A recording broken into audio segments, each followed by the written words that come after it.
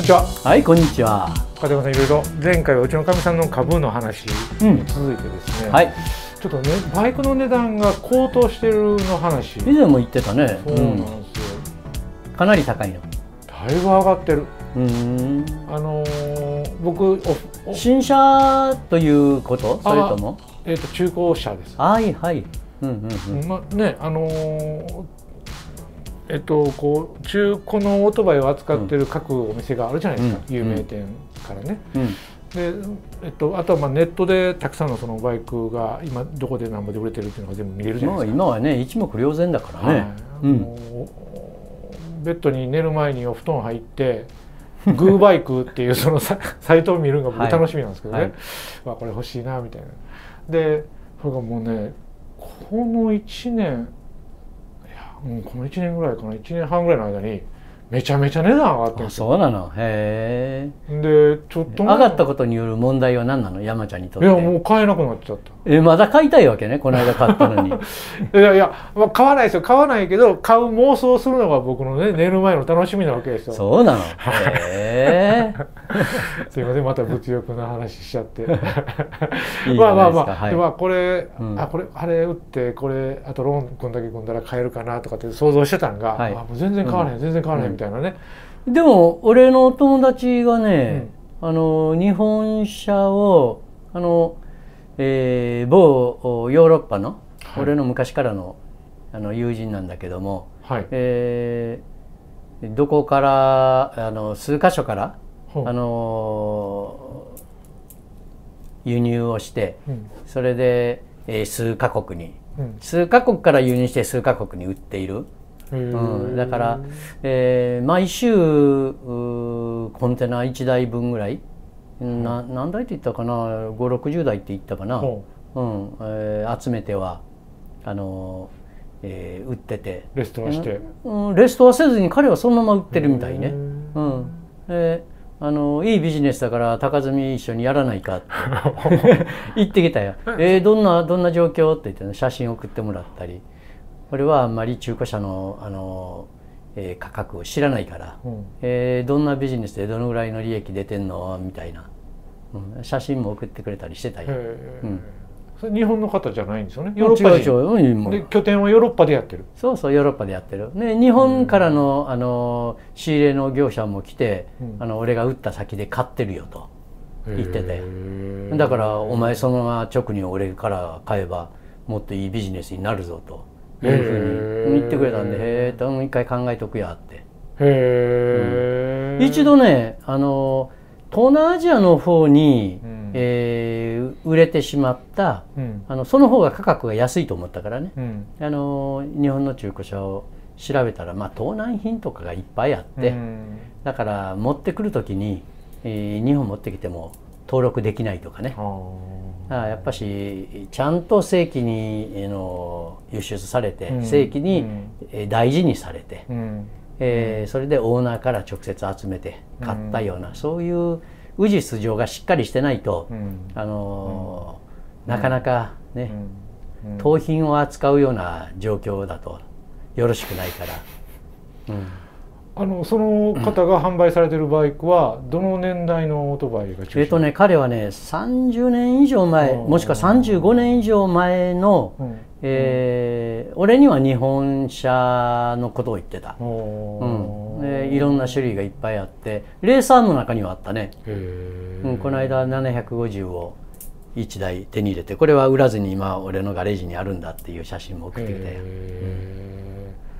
いやもうその旧車は特にですよ、うん、もう目ん玉飛び出るぐらいの金額になってるんですよ。へだからまああの結構世界中の人たちのマーケットなのか、まあ、日本でももう中古車っていうのはね基本的にリミテッドだからうん。あもう10年も20年も前からリミテッドっていうのが一つのキーワードで、うん。古いものはもうそれ以上ね作れないわけだから、うん。数はどんどんねうん。少なくなってるし、うん。だからあのコイン収集家とかさ切手収集家なんかと一緒で、うん。古いもので人気のあったものはうん。もう右肩上がりになるそうですよ。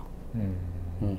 ちょうど昨日ねあの某友人が日本人だけども、うん。彼はコインを、うほうえー紀元前50年のえーコインと昨日見せてもらったのは、うんうん。それから、えーもう一つはペルシャの時代のなんとか金貨うん。見せてもらって、えーなんでこういうのはこういう値段でえー売り買いされてるのと一つは、えー100万ぐらいで一つは数百万レベルのやつで、うん昨日2つ見せてくれたけどそれはあのえー貨幣ヘッジ、えーなんて言ったかな彼は。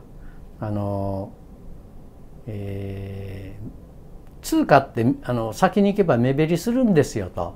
でその目減りをヘッジさせるために、うん。えーこういう古いものっていうのはずっとこういう値段の曲線で上がってるんですっていうグラフも見せてくれてね、へうん投資目的ですねじゃあ。うん、そうだね。うーん。まあそういう投機的なものがあるから。うん。あ最近では NFT とかね、うん。いろんな、あのー暗号資産のような使い方もあるからいろんな形で、えー皆さん、えー市場を考えるようだね。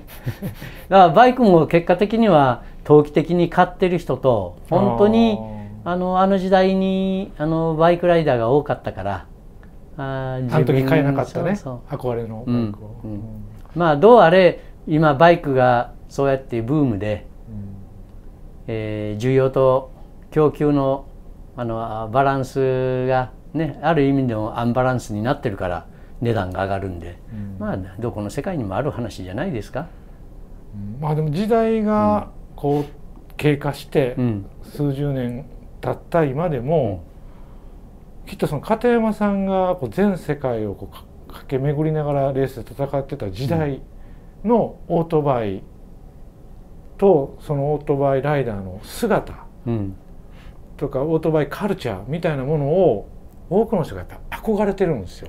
まあある意味レジェンドライダーと言われる人たちがね、うん。多かった。うん僕らの世代は第3期ぐらいのあ第三世代。うんうん黄金期じゃないかな。第2ではないような気がするんだけどね、うんうん、第2であれ第3であれとりあえずあの時代には市販レーサーという、うん。えーキーワードが一つありました、うん。それからメディアうん。というのが、あの一つ、えー広がりました。あテレビでも見れるようになり始めた。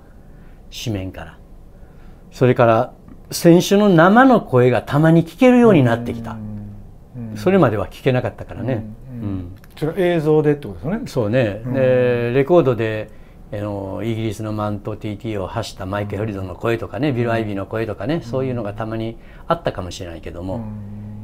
映像世代であるということとデジタル社会になりつつあったということといろんなその、えー市販レーサーっていう話も言いましたようにあのテクノロジーの領域が一気に開花し始めたうん。あー時期のお選手たちうん。レジェンドがやっぱし、あのー今でもファン層も広いし今のバイクファンの層は比較的広いと思うんだよね、うん。当時よりも簡単にメディアを見れるから。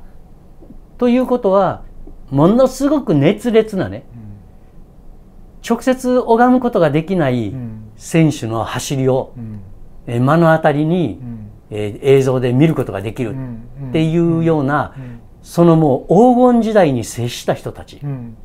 っていうのがあの80年代70年代。うん。うん。僕は80っていうのが一つのキーワードにしてるんだけども75年ぐらいから85年ぐらいまでのうんこの黄金時代80をピークにね。うんうんえーこの10年間ぐらいの、おえーがある種の第3期黄金期みたいな、僕たちが僕はまあ走り終わったのが85年。日本のあのオートバイブームも2桁成長したのがやはりこの時期ぐらいだからね。まあ川崎の Z シリーズ、はい。それからホンダの CB とか、うんうん。鈴木のね、Z2 シリーズはもう70年、入ってすぐだよね。うん。うん。まあ、それを当時あの変えたく変えたくても変えなかったうん。人たちが今、うん。あのある程度生活に余裕があってうん。変われる、まあ、ある程度の年を召された方々とは別にうん。若者たちがうん旧車に憧れてるんですよ。若者たちがあの片山さんが活躍された時代のオートバイカルチャーとか、オートバイのそのディテールとか、もう全部鉄でできてる、うん。あのオートバイのディテールとかだからヘルメットも旧車風のヘルメットをみんな選んでたりとかね、うんうん。旧車に似合いそうなヘルメット選んだりとか。だから山ちゃんもなんか古いヘルメットを選んだって言ったね。い、あのただ、はいうん。ああのまあそれ昔買ったやつずっと今でも使ってるだけの話なんですけど、はい。あのうん。やっぱあみんなやっぱ憧れてるんですよ。片山さんの時代のうん。オートバイとライダーと。黄金時代にね。うん。うん。そ世代問わずですよ。うん。うん。おっちゃんばっかりちゃうってことですよ。若い子たちもその辺に憧れてるっていうね。若い子はなんでそこに憧れるんだろ僕分かないから分からないです。よいやあの想像するんですよ。僕もそれうん同じこと考えてうん。こういうことかなああいうことかなとかってでもなんかおうんと片山さんが前僕に言ってくれたオートバイってすごい危険な乗り物で、えっとう。バイク漫画なんかも描いてるのはその時代のあーそだよね。うん。う。うんんうんうん。あそれをまた若者たちも見てるしね、うんうん。あれだけディテール細やかに一枚一枚の絵をね、はい。えーバイク描いてた、ねねえ。人たちってすごいなと思うやん。そうね。うん。まあ、あの YouTube をご覧の皆さんあのそんな、えー皆さんもしかしたらたまにいらっしゃるそのうん。片山高純っていうのを知らない世界の頂点に立った日本人で初めてですよ。に世界の頂点にオートバイレースで立った片山高純さんがこの画面に映ってるこの方です。知ってる方はもうすみません。あの お察しのあのご存知の通りです。YouTube 見てから片山を知ったっていう人もねたまにあたまにはいらっしゃの書き込みされてるよね。ううんあのまたいろいろ片山高純で検索したらかっこいい。めっちゃ今見てもうわかっこええっていう映像あこの間かっこいいい写真見つけたわ。あそうですか、うん。じゃあそういうのまた見せてください。押してくださいあの YouTube 出してもいいですよね。もういい。あいいですか。あの昨日ちょうど片山サロンのメンバーに、うん。えー送ってあげたんだけども、ええ。ー85年ぐらいのそうだ85年の最後の年の、あのー左コーナーの走りなんだけども、ええ。俺も初めて見たかのような写真だったわ、えでよくよく見ると、あのーあの当時に出したカレンダー。えうん。こんなでかいカレンダーなんだけども、えーそれを、あのースキャンしたことがあるんですよ。えデータ化したやつ。であのえその写真。ーうん、その写真の1枚が、およく見たらおなかなかいいフォームだなと、うん、あそれまた送りましょあぜひとも、うん。あのそれはあうの後で送っとくからこれに貼り付ければあいいですか？じゃあ,、うん。あの皆さんこの画面に映ってるこちらです。はい。僕見てないから今感想言いませんはいということで、はい今週もありがとうございます。はいこの、えっと片山さんのはい。85年、引退された年ですか？そうだね85年の走りだねあれは。で現役最後、もう本当最後の頃の片山さんの走ってる姿をご覧いただきながら、最後のレースですよ、えーあのスパフランコルちゃんの走りだから、えーうん。えーあ僕写真見るの楽しみにしてます。はい、はい、じゃああのこの撮影終わったら、うん。今日の晩にあの携帯に入ってるんで見せてあげましょうはい、あちょっと送ってくださいよメールお送るよはい。はい、ということでありがとうございました。はい、それでは、次回もお楽しみに。では、はいさよなら